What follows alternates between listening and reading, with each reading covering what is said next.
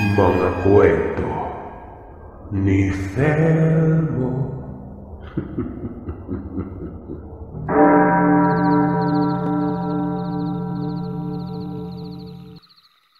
Mapagpalang araw, Sir Seth. Ako po si Rico. Bali ang kwentong ibabahagi ko sa inyo ngayon ay ang karanasan ni Lolo at ng tito ko. Dito mismo sa amin. Sa Iloilo. Bihira lang ang ganitong inkwentro sa ganitong klasing aswang Sir Seth. Pero si Lolo mismo ang magpapatunay na totoo ang mga manananggal. Taong 1975. Nasa 30 anyos si Lolo noon. Meron na siyang limang anak kabilang na si nanay na noong mga panahon na yon ay ang pinakabunso. Si Papang Ismael o si Lolo ay isa sa mga nagsiservisyo noon sa mga padasal. Namana niya yung ganitong kaugalian sa mga magulang niya at para bang ayuno na niya ito. Mula sa burol, pasyam hanggang sa 40 diyas. Isa siya sa mga kasakasama sa pagdadasal. Dahil sa batang edad pa lamang nito ay sa ulo na niya ang mga dasalin na yon. Wala siyang kinikitang pera dito pero palagi itong umuwi ng merong baon. Mga dosenang itlog, buhay na manok, karne ng baboy, mga hilaw na pansit, bihon, gulay o kung ano pa.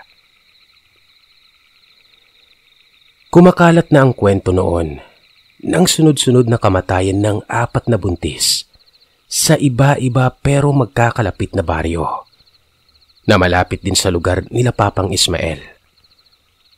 Ayon kina Papang, dalawa sa mga namatay ay natagpuan na lamang na walang buhay ng mga asawa nila.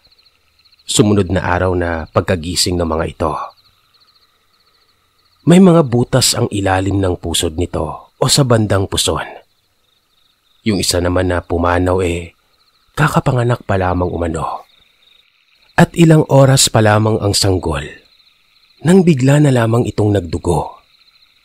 At ang nakapagtataka, pagkamatay na pagkamatay ng nanay, siya ding pagkamatay ng anak na ayon sa mga tumingin nun, rami o malambot ang tiyan at noong iniimbestigahan na, may mga nabuong butas din sa katawan ng mag-inang ito. At nang buksan ang katawan ng bata, durog na durog umano ang atay ng sanggol at parang kulang-kulang. Yung huling biktima naman, nagdugo lamang umano. Tapos bigla na lamang nawalan ng malay isang hapon. At noong inilabas yung bata, wala na itong inunan. Ultimong ang cord o yung tali ng bata sa pusod nito na nakadugtong sa may inunan. Gutay-gutay umano. Walang sapat na eksplanasyon, Sir Seth. Wala ding makapagsasabi kung talagang nagkataon lamang at ang sani ay ang talagang abnormal o komplikasyon sa pagbubuntis. O baka naman merong kinalaman ang mga nilalang sa dilim. Lalo na at bago mamatay ang mga buntis na yon. May mga nakikita umano ang mga tao sa bawat baryo na lumilipad na isang napakalaking paniki. At madagdag ko lamang din Sir Seth na lahat ng nabiktima ay namatay saktong kabilugan ng buwan. Sa apat na biktimang ito, dalawa lamang ang napuntahan ni Lolo para sumama sa padasal. Yung pangalawa at yung panghuli. Gawa ng sunod-sunod ito at hindi din naman magawang mapagsabay ni Lolo yon o gagawing salitan. Kasi iisang oras lamang naman yung padasal at hindi din siya pwedeng hindi dumalo sa isa kung hindi ay mag-aalangan na magbigay ng pauwi ang mga pamilya ng biktima. Isang hapon, papunta si Papang Ismael sa padasal. Meron siyang dalawang pagpipili ang daanan. Umakyat ng bundok at tatawid doon. o tatawirin niya yung kahabaan ng isang sagingan. Madalas, pinipili ni Lolo ang sagingan dahil kailangan niya pang maghubad ng suot sa paa kasi tatawid siya sa ilog bago makaakit doon sa may bundok. Nadadaan lamang si Lolo doon sa may bundok na yun kapag dadaan siya ng bayan o may dadaanan siyang kakilala. Andun kasi parte ang mga baryo o kabahayan. Samantalang itong sagingan na ito, tipikal na sagingan lang. Walang bahay, walang kung sinong nakatira. Madagdag ko lamang din na ang sagingan na ito na ngayon ay isa ng kilalang stopover ng mga provincial bosses. Napakaganda umano ng pagkakagawa at pagkakatanim ng mga saging doon. Kasi hilerang hilera talaga daw ito Sir Seth. Para silang nakapila ng tuwid na tuwid at walang lumalagpas sa guhit. So ito na nga. Habang naglalakad si Lolo sa pagitan ng mga hile-hilerang saging na yon, meron siyang nakasalubong na isang babae. Sa tingin ni Lolo ay hindi tataas ng 20 anyos ang edad nito. Mahaba at medyo kulot-kulot ang buhok. May pagkamatangos ang ilong na aakalain mong may halong Espanyol. Para daw itong santo. Bukod sa suot na bestida, meron pa itong patadyong o sinaunang palda na abot hanggang talampakan. Saglit na nakalimutan umano ni Lolo noon na pamilyado siyang tao. Tinanggal niya yung salakot at bumati sa babaeng ito. Magandang hapon, binibini. Saan ang punta niyo? Ngiting-ngiti pa umano si Lolo noon ni hindi umangat ng tingin ng dalaga. Pero tumigil ito at payokong sinabi kay Lolo ang lugar kung saan siya pupunta. At tuloy-tuloy nang naglakad palagpas noon. Bandang Iloilo din ang lugar na binanggit ng dalaga, Sir Seth. Pero ang ipinagtataka ni Lolo, medyo may kalayuan ito doon sa lugar. Kaya naman, Sinubukan niya pang lumingon noon. Pero pagkatingin niya sa bandang likuran niya, kung saan dapat ang dalaga, nawala ito. Medyo kinabahan naman si Lolo noon gawa ng uso din sa lugar namin yung mga engkanto. Inunahan niya na ito. Nagbaliktad siya kaagad ng suot niya at dali-dali nang tinawid ang kahabaan ng sagingan. Kinagabihan, matapos ang padasal, umuwi si Lolo at dumaan ulit doon sa may sagingan na yon. Nakagawian niya na ito, Sir Seth. Sanay na sanay na siya sa mismong daan at minsan, wala siyang naranasan na kahit anong ikakapanganib ng buhay niya. Nasa kalagitnaan na daw siya noon ng sagingan na yon. Nang bigla na lamang siyang nakarinig ng isang iyak sa pagkakadescribe ni Lolo. Kaboses daw ito ni Lola kapag nanganganak. Matinis na pasigaw ang iyak nito at ang kasabay pa nito ay para bang may mga tunog ng nababaling sanga ng mga puno. Hindi tunog ng puno ng saging yon. Basta kung nakarinig na kayo ng pinihit na sanga na tuyo, tapos naputol. Ganun na ganun daw ang tunog. Napayuko na lamang umano si Lolo nang biglang lumakas ang hangin sa bandang taas niya. Napaakap siya sa dalawang magkatabing saging noon dahil sa pag-aakalang buhawi o ipo-ipo ito. Tapos yung boses umano ng umiiyak. Naririnig niya rin. Pero sa pagkakataon na yon, palayo na ito ng palayo sa kinaroroonan niya. Hindi umano alam ni Lolo kung babalik pa ba siya o dederecho kasi parang ganun din eh. Pagapang na lamang daw niyang tinahak yung sagingan na yon. At palingon-lingon na lamang siya sa may bandang taas habang nagbubulong ng taimtim na dasal. Pagkalagpas niya doon sa may sagingan, agad daw siyang kumaripas papunta sa pinakakalsada. At nawala na lamang yung kaba niya nang makakita ng mga taong nagiinuman sa bukana ng lugar nila. Sumunod na gabi ng padasal. Hapon ulit. Naglakad na naman si Lolo papunta sa may sagingan. Sa pagkakataon na ito, kasama niya ang pamangkin niya na si Diosdado, na noon ay sampung taon lamang ang tanda ni Lolo sa kanya. Dito, nasalubong ulit ni Lolo ang babae. Ayon kay Tatay Diosdado, Nakasama din ni Lolo na nagbahagi ng karanasan na ito. Tama umano si Lolo na ubod daw talaga ito ng ganda. Kahit tingnan mo pa lang, parang mabango na. Binati nila ulit ang dalagang ito. Yumuko lamang ito at bumati din sa kanila tapos tuloy-tuloy na na naglakad.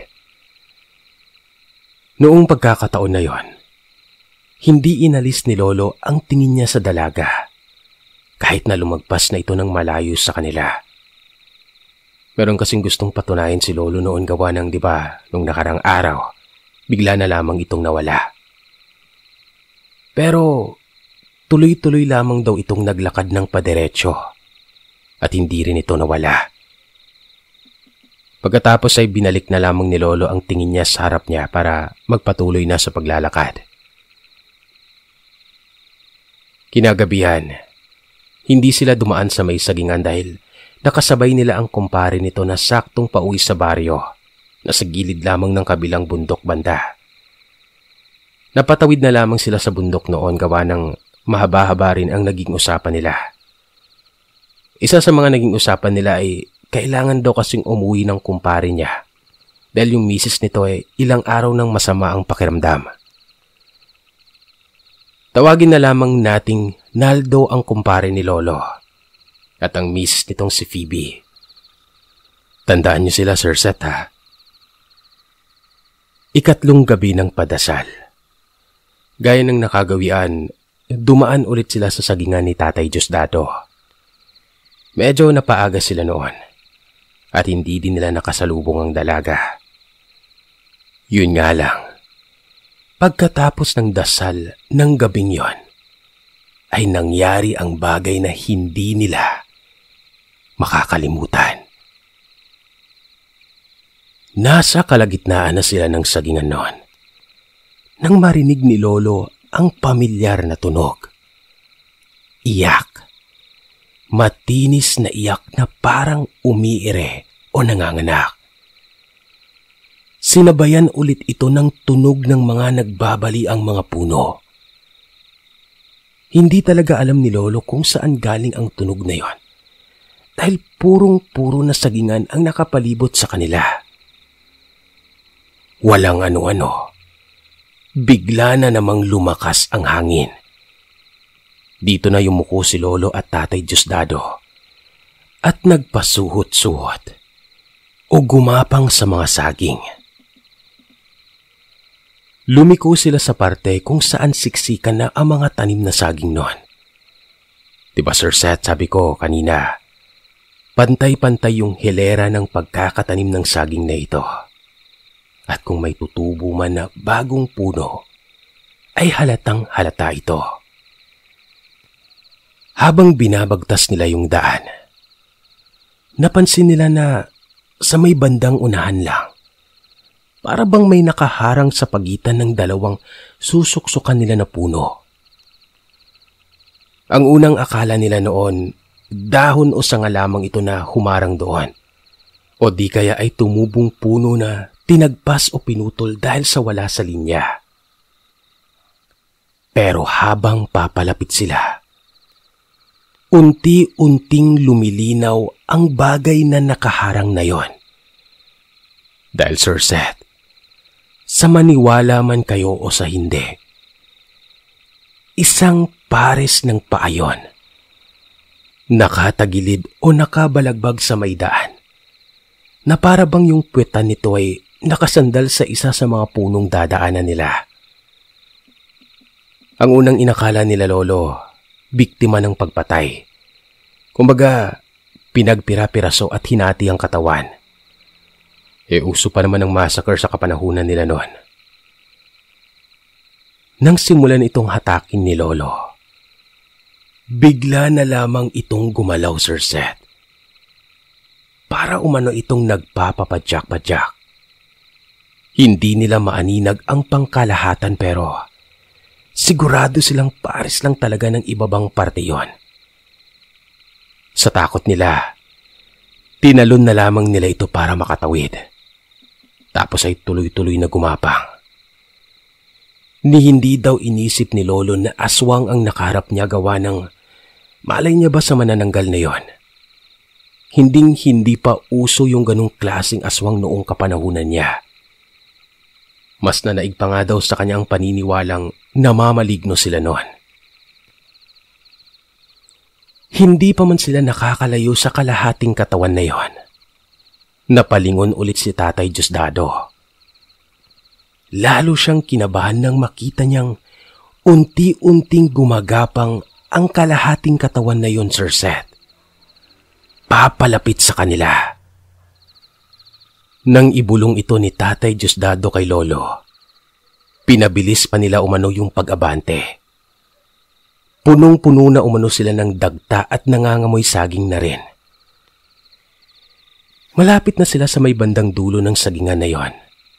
Pakiramdam nila, sobrang tagal na nilang gumagapang doon sa lugar. Tapos ito, bigla na lamang lumakas ulit yung hangin. Tuloy-tuloy na pagaspas na ng mga pakpak ang naririnig nila at nararamdaman nila. Tapos nandun na naman daw yung matinis na iyak. Paikot-ikot lamang ito sa may sagingan na akala mo may hinahanap.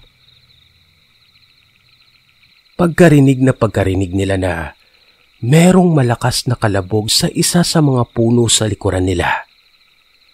Doon na sila tumayo at tuloy-tuloy na tinakbo palabas ng sagingan. Ang akala nila, ligtas na sila sa parte na yun gawa ng, yun na eh, malapit na sila sa bukana ng baryo nila. Pero ilang segundo pa lamang ang nakakalipas noon meron silang narinig ulit na mga pagaspasan. Bigla na namang lumakas ang hangin. At nang makita ni Lolo na merong napakalaking anino sa taas nila, at barabang palapad ng palapad ang anino na ito, dito na hinatak ni Lolo si Tito at nahulog sila sa may kanal.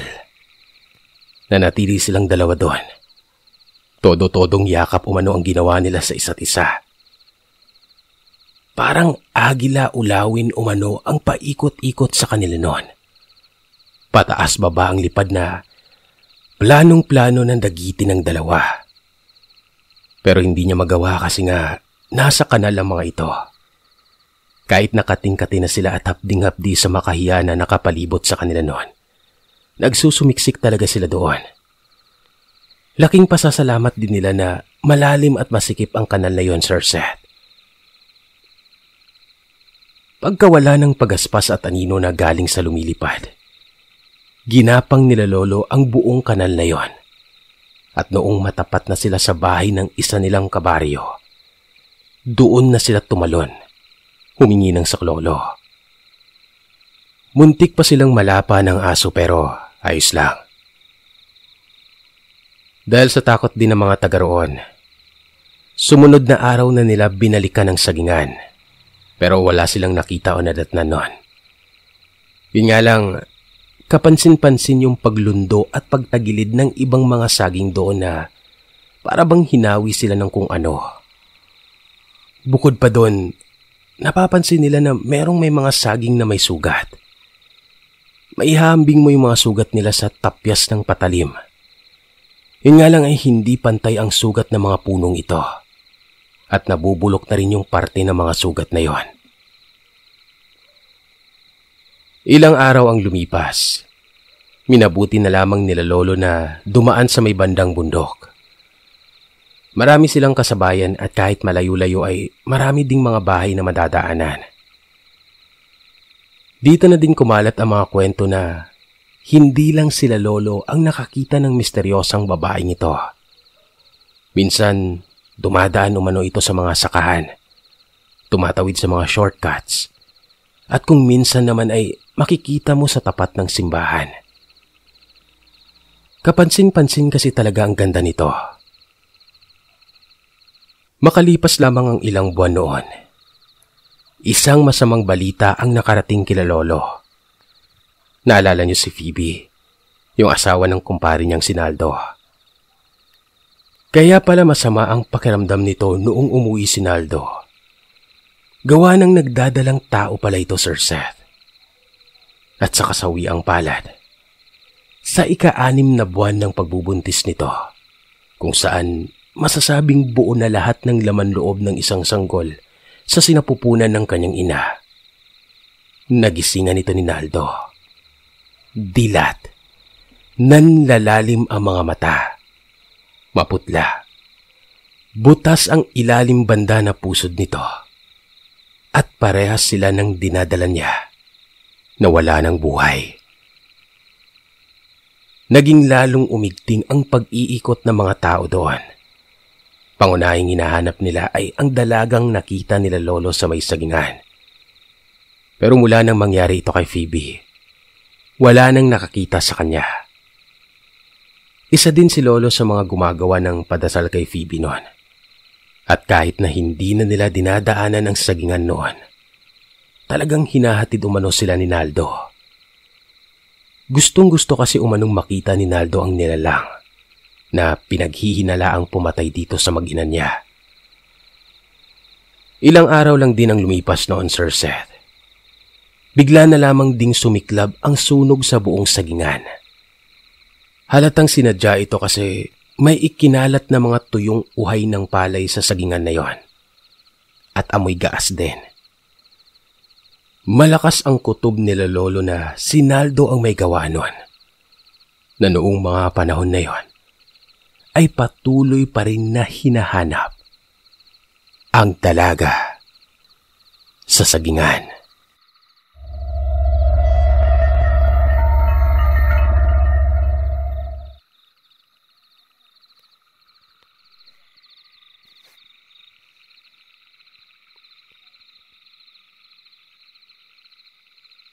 What's up? What's up? uh, magandang gabi mga kagiliw. Thank you very much sa mga listeners natin. Mapa sa Pilipinas man o mapa sa ibang bansa, mga OFW natin. Maraming maraming salamat sa pakikinig. Madako na tayo sa shoutout request. Sa mga gusto magpa-shoutout ha, uh, alam niyo na yan, nalaka, nakalagay yung uh, social media natin sa description ng bawat story natin. Nandyan lang yan sa description, hanapin nyo. Kahit saan nyo ako i-reach out dyan, okay lang. Ha? Uh, basta iwasan lang natin yung shoutout request sa comment section dahil hindi natin siya ina-acknowledge, okay? Ito na. Unahin natin yung mga, um, syempre, nag-monthsary sa, sa Centennial membership natin. Okay, new member. Thank you sa'yo. Janice Demenes. Wow, maraming salamat. Happy one month, Jumir Amil. Happy three months, Rona Love and MJ. Happy seven months, RMZVXYZ. Happy eight months, Irene Cara, Anya, Jessica Mulay at Dayan Dominguez. At happy 10 months, Ma'am Carmi Mabanag, and Mang Lando Maps. Next is yung mga nag-message naman sa atin sa social media. Hi Sir Seth, listener mo po ako from Hong Kong. Papabati lang po sana ako sa birthday ko. Ngayon yan, happy birthday sa'yo. At pati na din po sa dalawa kong anak na si Casey at Kaikai. At sa partner ko po na si Jovet, pabati na rin po sila. Salamat po at more power sa and God bless. Happy birthday sa'yo, Ma'am Kathy. Okay? Shoutout din kay James Kevin ko, nakaka-graduate lamang at grade 11 na daw siya. Yon, congrats sa'yo sir. Wala ka na, uh, sabi niya i-post ko daw yung picture niya dito pero wala naman siyang pinadala. So, Sir James Kevin ko, since day 1 po, isa to sa mga listeners natin. Thank you, thank you. Shoutout din sa nag-message sa atin sa social media, isa sa mga member. Hello sa'yo, Miss Cruzette. Thank you very much sa suporta. Next is from Baz. Uh, I know, hindi pala Baz. Hi, Kuya Seth. It's been a while, pa-shoutout naman po, pampatulog ko pa rin yung stories mo. By the way, pa-plug naman po ng new channel namin ng friend ko. It's a podcast-like channel. Uh, may one upload na kami. From Ma'am Micaela to. Ang, ano nyo, so podcast to, um, subscribe kayo, Buzz Sessions. So, Buzz Session, double Z, sa uli, okay? So next is from Didi Peralta. I'm very sorry, sobrang late to. Sir, good morning. Pa-shoutout happiest birthday uh, to us, Dayan D. Peralta, and to my unico iho, Carl John Lee. June 29 kahapon. I'm very sorry, ma'am. Pero belated happy birthday sa inyo. Maraming maraming salamat po sa suporta. Pasensya na at hindi ko nabasa kaagad. Okay? Thank you, thank you very much. And I'm, I hope na nagkaroon kayo ng uh, uh, magandang birthday celebration. And I wish na marami pa kayong birthdays to come. Sabi ko nga, mga 100 birthdays pa. Thank you, ma'am. Thank you very much. Next is, sir, pa-shoutout sa misis ko na si Ronaldin Yumang si Aliyah, anak kong si Aliyah Isabel, Stephen Daniel Sander Dominic Skyler Drew, John Paulo, Florimel Prince, Prince Gargarita, Eunice, and Yula Marie. Harley David Mariano at sa mga in-laws ko na sila Mama Natalia at Papa Ronnie Federico at saka kay Julie Ann Loyola ng Bataan from Sir Ed Sumang. Shoutout din kay Ma'am Diana. Hello sa'yo. Uh, shoutout din, sir. Pa-shoutout. Yan. Happy birthday, July 1st. Happy birthday, Hana. Um, para daw hindi ako mahirapan sa ano sa name ko. Sa name niya pala. Happy birthday sa iyo, Hana. July 1st. Wow. Uh, more birthdays to come. Okay? Thank you, thank you. Next is, Sir, pa-shoutout, Sir, naubos ko na yung stories mo dito sa MKNT YouTube account. Nagsimula na ako a couple of months ago. Sakto kasing end shift ko from work from home ay nakakapag-upload ka na. Although, uh, uh, ang ginagawa ko ay kaya ay OTY ang ginagawa ko kaya bumibilis ako mag-prod dahil sa natatakot na ako sa stories mo. Kahit nalipat na ako ng shift graveyard, nakikinig pa rin. Inuulit-ulit ko ng stories ko. Sir Seth, um, magaganda lahat ng stories mo. Walang skip talaga. Maraming maraming salamat. From Ma'am EG. Uh, EG. So, Egypt without P. EG. Yan. Next is, Sir, isa po ako sa silent listener mo. Ang galing niyo po mag-narrate, Lodi. Thank you. Pa-shoutout kami ng grupo ng Mr. ko, ang Rex Ferum, at sa mga anak ko na lagi kong kasama na makinig ng mga story mo. Sina Larry Jr., Kenneth, Lance at sa bunso ko na si Mateo at sa Mr. kong si Rodolfo Jr. Salamat po and God bless. Keep safe and more subscribers to come. From Ma'am Camille Bautista. Thank you, thank you. Next is Sir Seth. Avid fan niyo po ako from Pagadian City. Uh, pa-shoutout naman sa jowa ko na si 2LT Rick Amadju na super busy. Love you po. Happy 11th months daw. A from April Julian Betonio from Pagadian City, Zamboanga del Sur. Thank you, thank you sa inyo. Next is shoutout kay Reggie Diduyo. Uh, shoutout din, um, sir, pa shoutout sa mama ko uh, na lagi nakikinig sa channel nyo. Siya po si Ferdana Mualip or Mualip. Ferdana Mualip. Si Papa uh, Mark, Mark, ay, sorry. Ulit, ulit. Si mama ko po na lagi nakikinig sa channel nyo, si Ferdana Mualip. Ako naman po si Ar Arha Arhamar Hajal. At si papa ko po ni si Anwaruddin Pasawilan. Uh, tagapakinig po kami from Tawi-Tawi. Thank you sa inyo. Ay lang mga kagiliw, maraming maraming salamat. Bukas ulit.